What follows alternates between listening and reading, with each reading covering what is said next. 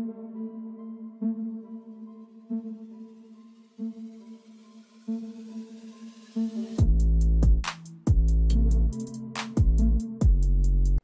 स्वागत है आपका आज की हमारी इस वीडियो में।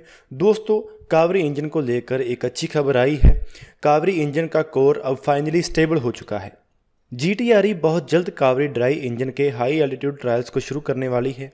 ये इंजन अपने ड्राई वेरिएंट में 46 के का थ्रस्ट जनरेट करता है। इसे एक रशियन एल्यूशन 76 ट्रांसपोर्ट एयरक्राफ्ट के ऊपर टेस्ट किया जाना है।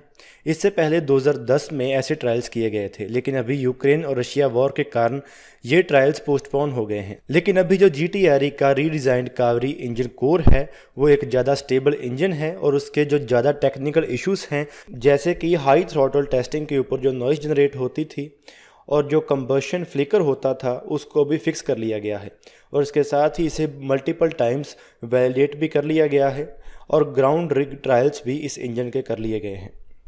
जी का प्लान था कि इसका इनिशियल फ़्लाइट रियलाइज़ 2024 तक हो जाए, जो कि अभी थोड़ा टाइम डिले हो सकता है, क्योंकि ये काफ़ी इंपॉर्टेंट है कि इस इंजन को रिलायबिलिटी सेफ्टी और एयर वर्दीनेस प्रूव करने के लिए इस इंजन को एक फ्लाइंग टेस्ट बेड या एक फ्लाइंग एयरक्राफ्ट के ऊपर टेस्ट किया जाए।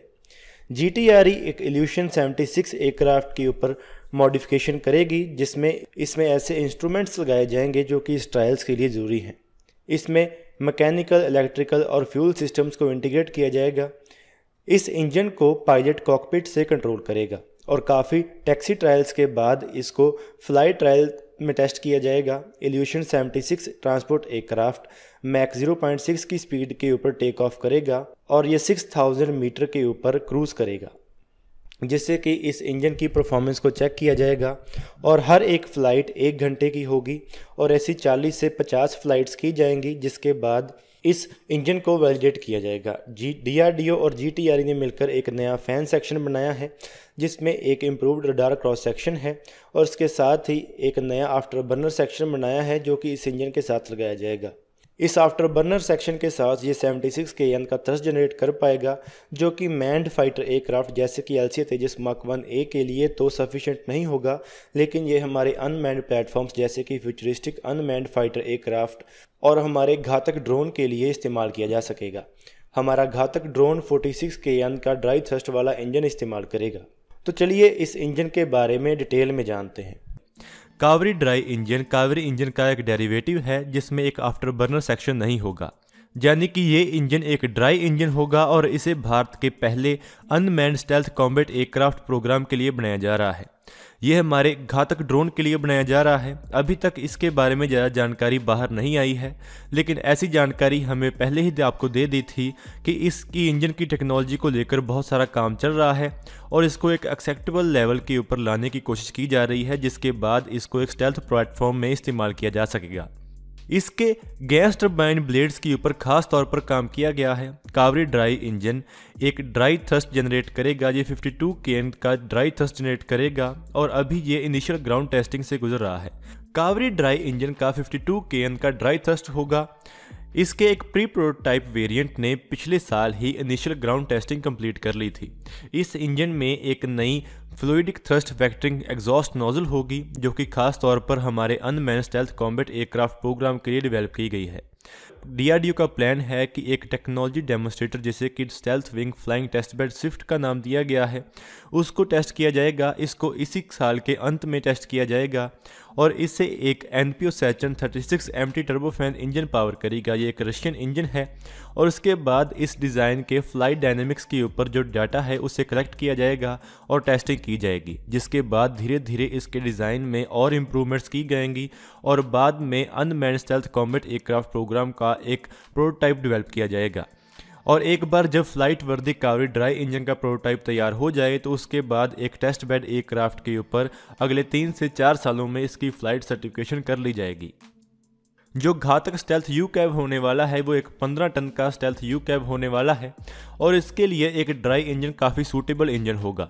घातक ड्रोन है, वो एक स्टेल्थ ड्रोन है और उसके लिए हमें एक ऐसे इंजन की ज़रूरत है जो कि कम से कम इंफ्रारेड हीट सिग्नेचर जनरेट करे, जिससे कि इस एक क्राफ्ट को ना तो रडार से डिटेक्ट किया जा सके और ना ही किसी दूसरे एक क्राफ्ट के infrared search and track system से डिटेक्ट किया जा सके और ये ज़्यादा से ज़्यादा स्टेल्थ बना रह सके। डीआरडीओ को इस इंजन को डेवलप करने के लिए जो पैसा है वो मिल चुका है। अभी जो दूसरे देशों ने ऐसे यूएवी बनाए हैं, जैसे कि रशिया और चाइना ने बनाए हैं, उनको अभी तक सिर्फ़ आफ्टर बर्निंग इंजन के साथ ही देखा गया है। लेकिन ऐसी जानकारी है कि उनको धीरे धीरे flat low heat nozzle exhaust वाले इंजन मिल जाएँगे, जब वो अपनी प्रोडक्शन में एंटर होंगे। इससे पहले इस एक क्राफ्ट को लेकर काफ़ी नई तस्वीरें भी सामने आई थी, जिसके बारे में ऐसा बताया गया था कि इस एक क्राफ्ट के ऊपर काम काफ़ी तेज़ी से चल रहा है।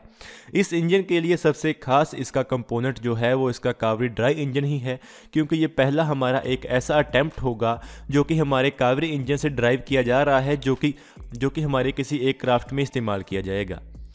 अभी तक जो हमारा कावरी इंजन प्रोग्राम था, उसमें काफ़ी प्रॉब्लम्स थी और जो उसके साथ प्रॉब्लम्स थी, वो उसके आफ्टर बर्नर सेक्शन के साथ ही थी, यानी कि वो वेट थ्रस्ट ज़्यादा जनरेट नहीं कर सकता था। लेकिन जो उसका ड्राई थ्रस्ट था, वो ठीक था, वो 50 के के करीब का ड्राई थ्रस्ट जनरेट कर सकता था। इसीलिए हमारे कावरी इंजन का ही एक डेरिवेटिव बनाया जा रहा है, जो कि हमारे घातक ड्रोन में इस्तेमाल किया जाएगा। इसके साथ ही जैसी जानकारी मिली है कि इसके इंजन ब्लेड्स के ऊपर भी काफ़ी काम किया गया है और धीरे धीरे जब इस कावरी ड्राई इंजन की डेवलपमेंट चलेगी तो इससे इस टेक्नोलॉजी में काफ़ी रिफाइनमेंट आ जाएगी और हम हमारा खुद का एक आफ्टर बर्नर वाला काफ़ी एडवांस्ड इंजन आसानी से डेवलप कर सकेंगे। इससे पहले हमने आपको जानकारी दी थी कि डीआरडीओ ने डिफेंस मिनिस्ट्री को एक प्रपोजल दिया था कि वो एक हाई कैपेसिटी इंजन डेवलप करना चाहते हैं जो कि एम प्रोग्राम के लिए हो। लेकिन डिफेंस मिनिस्ट्री ने उन्हें ये जानकारी दी थी कि आप पहले कावरी ड्राई इंजन के ऊपर काम करें और उसके बाद जब आप इस इंजन को लेकर सक्सेसफुल हो जाएँगे, उसी के बाद ही आपको एक हाई कैपेसिटी इंजन को डेवलप करने के लिए फंड्स दिए जाएँगे। इससे पीछे लॉजिक ये था कि पहले एक छोटा इंजन डेवलप किया जाए और उसके ऊपर अपनी टेक्नोलॉजी को परफेक्ट किया जाए और एक्सपीरियंस गेन किया जाए और उसके बाद ही किसी बड़े इंजन प्रोजेक्ट की तरफ़ मूव ऑन किया जाए।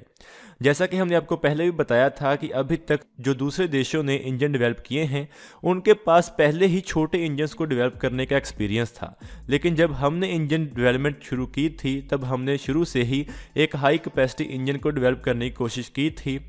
जो कि चाहे कि दूसरे देशों के इंजन्स के मुकाबले में कम कैपेसिटी वाला था, लेकिन फिर भी हमारे देश की टेक्नोलॉजिकल एक्सपीरियंस और कैपेबिलिटी को देखते हुए काफ़ी एक बड़ा एम्बिशियस प्रोजेक्ट था।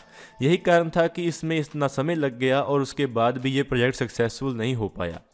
इसीलिए सही कोर्स ऑफ़ एक्शन यही था कि पहले एक छोटा इंजन डेवलप किया जाता और उसके बाद धीरे धीरे उसके ऊपर जो एक्सपीरियंस गेन किया जाता और उसके बाद ही एक नया इंजन डेवलप किया जाता, जो कि हाई कैपेसिटी इंजन होता। लेकिन अभी इस गलती को सुधारने की कोशिश की जा रही है और अभी कावरी ड्राई इंजन की डेवलपमेंट के बाद और इसकी सक्सेस के बाद हम एक नया इंजन डेवलप करेंगे जो कि जहाँ तो किसी दूसरे देश के साथ जॉइंट वेंचर में होगा और जहाँ वो हमारे डी द्वारा खुद डेवलप किया जाएगा जो कि काफ़ी हाई कैपेसिटी 110 के थ्रस्ट प्रोड्यूस करने की कैपेबिलिटी वाला इंजन होगा। इसके साथ ही ऐसी जानकारी है कि बोइंग को भारत को एफ़ फिफ्टीन फाइटर जेट बेचने का अप्रूवल मिल गया है और अभी बोइंग भारत को formally F fifteen fighter jet offer कर सकता है। अभी भारत हमारी एयरफोर्स की जो फाइटर जेट की कमी है, उसको पूरा करना चाहता है और अमेरिका इस कमी को पूरा करने के लिए अपने F fifteen E X fighter jet और एफ़ सिक्सटीन के एक derivative F twenty one fighter jet को ऑफ़र कर रहा है। और इसके साथ ही बोइंग अपने F eighteen Super Hornet fighter aircraft को भी ऑफ़र कर रहा है। अमेरिकन लॉबी की ये पूरी कोशिश है कि जो नया ऑर्डर भारत दे, वो एक अमेरिकन फाइटर जेट का ही हो। और इसीलिए अमेरिकन कंपनीज़ अपने नए नए ऑफ़र लेकर सामने आ रही हैं। F fifteen E X fighter jet की ऑफ़र को लेकर बहुत बार क्रिटिसाइज भी किया गया है, क्योंकि एक्सपर्ट्स का मानना है कि हमारे पास पहले ही इसी क्लास का एक fighter jet Sukhoi thirty M के एक क्राफ्ट अवेलेबल है, जो कि काफ़ी बड़े नंबर्स में अवेलेबल है। तो अभी फिर से एक ऐसा फाइटर जेट खरीदना लॉजिकल बात नहीं होगी, जो कि हमारे पहले से मौजूद फाइटर जेट के साथ कंपेरेबल है, और उसी क्लास वाला है। एक्सपर्ट्स के मुताबिक हमें राफेल फाइटर जेट की क्लास का एक फाइटर जेट की ज़रूरत है, जो कि एक मल्टी रोल फाइटर एयरक्राफ्ट हो। लेकिन अभी जैसे जैसे जियो पॉलिटिक्स का सीनेरियो बदलता जा रहा है तो ये कहना गलत नहीं होगा कि शायद अमेरिकन फाइटर जेट्स के ऑफ़र को भी कंसिडर किया जाए। तो दोस्तों, आज की इस वीडियो में इतना ही। अगर आपको ये वीडियो अच्छी लगे तो आप इसको ज़रूर लाइक और शेयर करें। Thanks for watching this video जय हिंद, जय भारत।